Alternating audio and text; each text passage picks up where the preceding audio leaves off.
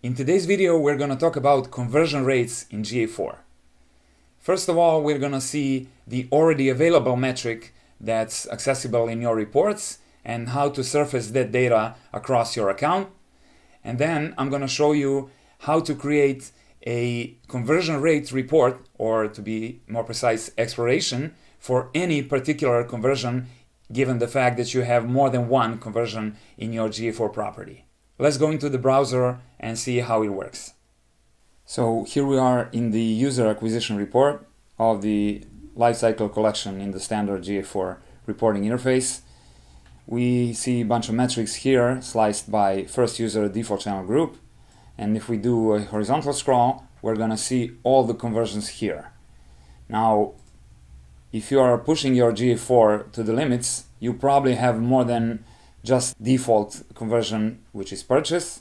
You might have activated another set of events to be conversions because you want to measure the conversion rate and other conversion related metrics here in GA4. The way to surface conversion rates is by customizing the report and then adding conversion rate metrics, session conversion rate, and then user conversion rate to your standard reports. I'm gonna pull revenue down there so you don't see the actual numbers. And right now your conversion rates should be here.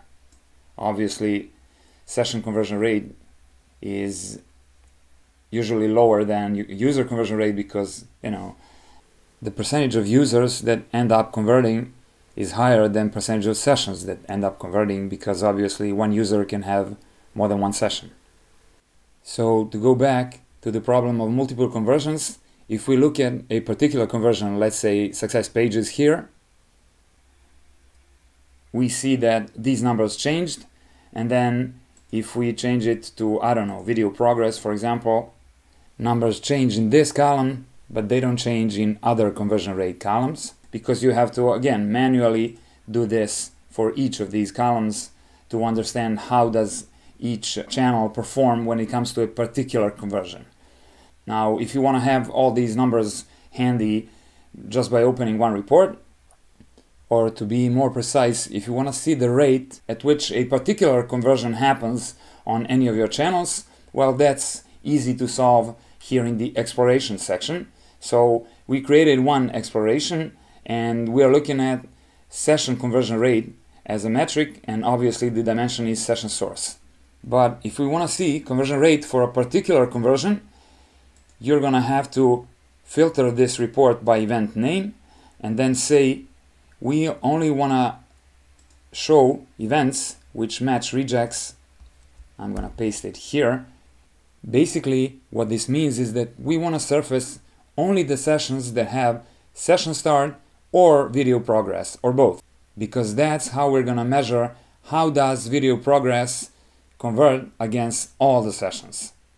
Let me show you another interesting report that I created. So I didn't slice via session source, but I actually used landing page as a session identifier. So these are the session conversion rate values, again, only for video progress for the sessions that started on any of these landing pages.